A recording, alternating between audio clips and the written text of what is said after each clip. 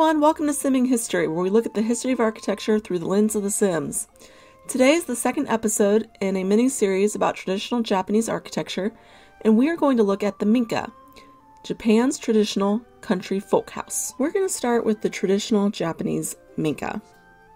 Now, just like every other traditional building, the Minka is a wood timber frame structure, and it sits on a foundation type called soseki, which are stones laid in a bed of stone or gravel, on which the columns of the building sit freely, as in they're not fastened. The only thing holding this building down is gravity. And it may seem counterintuitive, but this is actually done because of earthquakes. Because the building isn't fastened to what will become heaving ground, when an earthquake happens, the whole building can sort of move on its own accord. And when the earth settles, it can settle back down on its soseki and it's largely unharmed.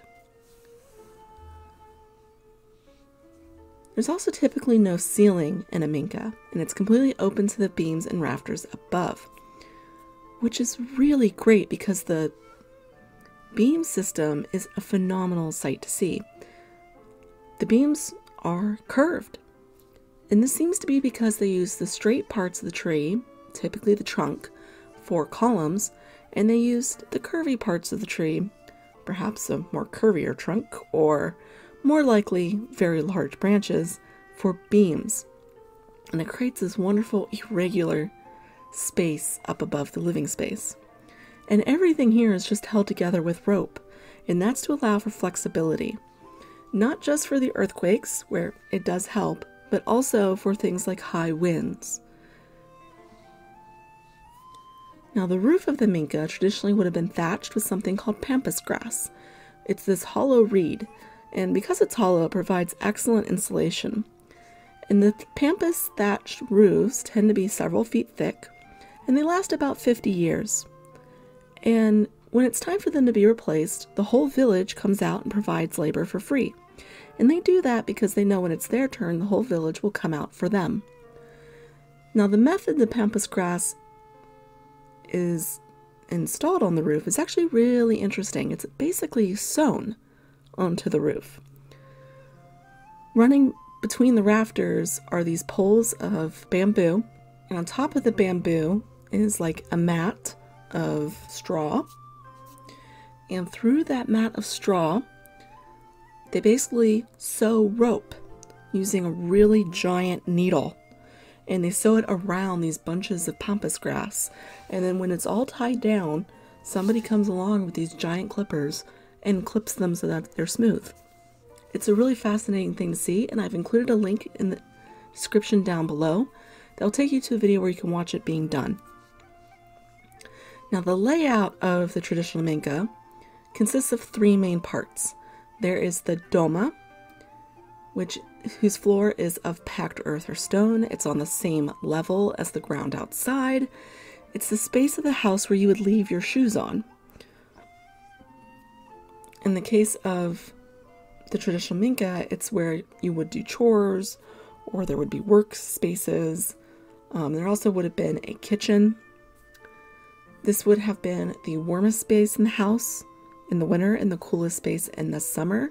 It was actually not uncommon for people to sleep on top of straw in their doma up into the 20th century. The second space is called the hiroma. The hiroma is slightly raised up above the doma and it's a wood planked floor area. And it's where the irori would have been. The irori is a sunken fire pit uh, that had a rod going up to the ceiling from which would hang your kettle or your pot and around the irori, the family would sit for dinner. Smoke from the irori helped keep the roof and timbers dry and insect free. The third space is the zashiki, or tatami rooms. Not every minka had zashiki, but those who did these rooms were only used for formal events or for greeting very important guests. They would not have been used for sleeping or for family functions. This would have been for like weddings or funerals. Now we're going to look at a subtype of minka called gasho, which is named for their steep roofs. Gasho literally means praying hands, and the steep roofs resemble praying hands. Gasho were had their heyday during the Edo period into the Meiji period, so ending around 1880s or so. They're found in an area of central Japan that gets a lot of snow. So the traditional minka was adapted to fit that climate. The buildings are built with a north south orientation so that the two sides of the gabled roof face east west, which maximizes the amount of sun that they can get, which helps keep melt the snow and keep the thatch dry. The steepness of the roof also helps keep the heavy snow load off the roof, like feet feet, feet, feet and feet and feet of snow. Like with traditional minka and every other traditional form of architecture, no nails are used. This is all timber and rope resting on the soseki foundation stones. Now, the layout, there are some slight tweaks. Uh, the interior does typically include like a toilet room and an altar, but they are on opposite sides of the house. And the layouts between your house and your neighbor's house would actually alternate so that your toilet is not facing your neighbor's altar and vice versa. The family lives on the first floor. Historically, multiple generations would live in the house with as many as 30 or more people.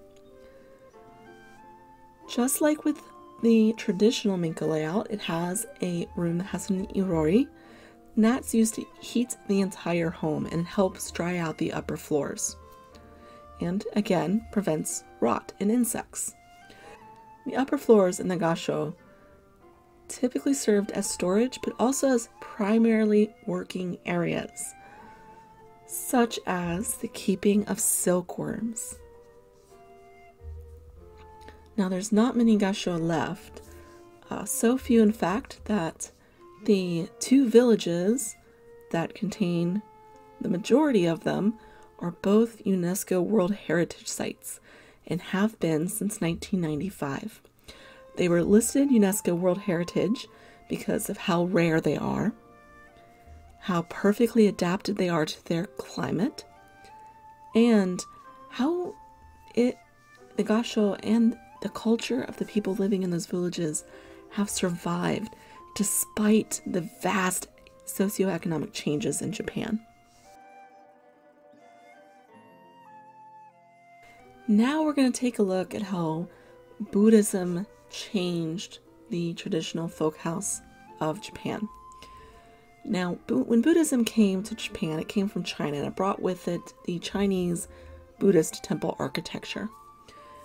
And eventually it sort of wormed its way into every aspect of Japanese architecture, and country houses were really no different. You started seeing more tile roofs cropping up versus pampas. The benefit of tile, of course, is you don't have to dedicate fields and fields to growing pampas grass just to roof one building. You also began seeing the extended flared eaves that were supported with those complicated beam bracket systems, and it also resulted in the development of a style called shoin. Now, shoin literally means writing hall or study, and it dates from a time when commoners started becoming Buddhist monks. Previously, monks had come pretty much solely from the aristocratic class. And as a result, they could afford to live in all sorts of uh, grand houses. But commoner monks could not afford that, and so a simpler style was born. Features of Shoin include recessed alcoves with shelves and a desk, uh, interior decorated opaque doors called fusuma, tatami mats, beveled square posts, coved or coffered ceilings, shoji doors, and amado, heavy exterior doors that could close at night or during bad weather. Shoin was adopted not just by the wealthy and the powerful and the monks, but also by people from all tiers of society. And it pretty much ruled Japanese style for a really long time. Its heyday was during the Edo period, which is the era of feudal Japan. But it persists even today, and it still influences modern architecture in Japan. To quote the book I read primarily for this, that's called The Art of the Architecture. No, it's called The Art of Japanese Architecture. It says, and I quote about Shoin it reached a level of perfection in terms of tasteful elegance that has never been surpassed in Japanese architecture. End quote. Now, of course, one of the reasons it became so popular is because it was adopted by the wealthy and the ruling classes, as was Buddhist temple design and residential architecture. These sort of Buddhist farmhouses that start cropping up cropped up because the wealthy could afford it. The layout of this new type of farmhouse includes a lot of familiar features.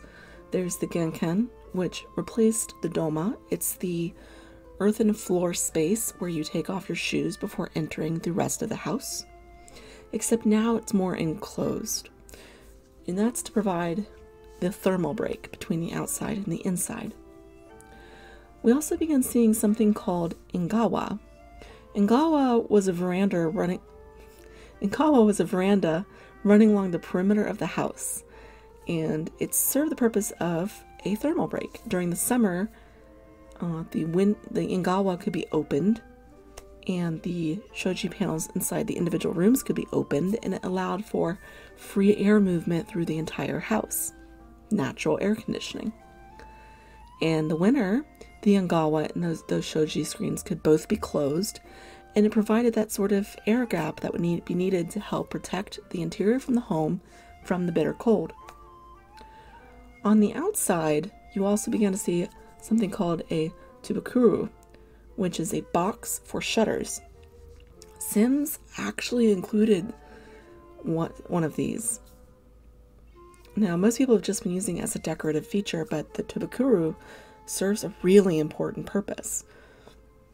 During inclement weather, very specifically typhoons, these shutters would be pulled out of the box and enclosed around the entire house to protect the occupants.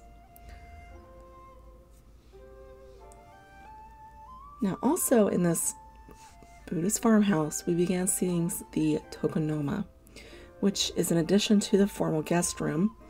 Tokonoma was has a decorative alcove with a raised platform. They usually contain wall hangings and an ikebana, both, both of which are seasonal, so they'll be changed out with the seasons. And of course, very prevalent in this home is the tatami mat. The tatami mat is actually several inches thick. So if you if you've never seen one made, it's it's several layers of uh, straw and bamboo that has perfectly square edges. They're about two inches thick and they're, they create a very springy floor. Thanks for joining me for this week's episode on the Minka. Let me know in the comment section down below if you have any questions. You can find me on Instagram at Simming History, where I post teasers of upcoming videos when I remember to do so. And at the Sims 4 gallery, well, there will be a playable version of a Minka for all you Simmers.